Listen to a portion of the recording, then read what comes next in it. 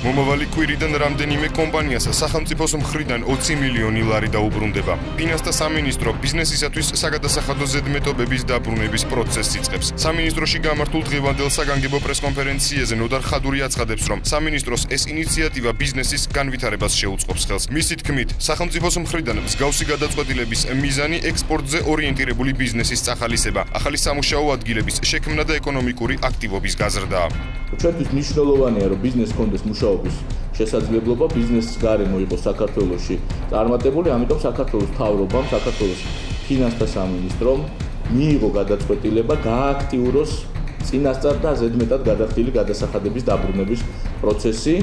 ქვეყნის პირველი ფინანსისტის ინფორმაციით, სამინისტროს ეს გადაწყვეტილება ბიუჯეტის შემოსავლების პროცესზე არ იმოქმედებს. მისივე თქმით, საგადასახადო ზედმეტობების დაბრუნებისათვის საჭირო სახსრების არსებობის კუთხით ბიუჯეტს პრობლემა არ გააჩნია. ნოდარ ხადურის განმარტებითვე, კომპანიების მიერ ზედმეტად გადახდილი გადასახადები ჯამში მთლიანად 300 მილიონ ლარს შეადგენს.